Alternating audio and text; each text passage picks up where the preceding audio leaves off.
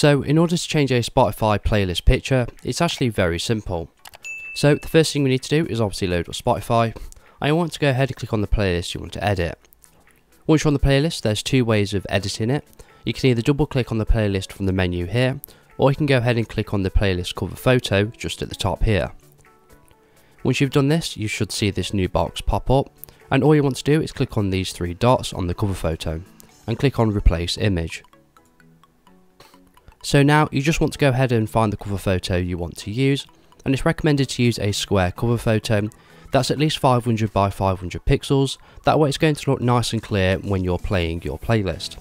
So I've got this one for example that I've got off Google, and all you want to do is click on open, and then go ahead and click on save. Now this should update immediately, and it should go ahead and update on your mobile phone and other devices too. If it doesn't, just close the program and restart it, and it should update immediately. And that is all you need to do to change your Spotify playlist picture. So if this video was helpful, please leave a like and pass it on to someone who may find it helpful as well. Thank you for watching and have a good day.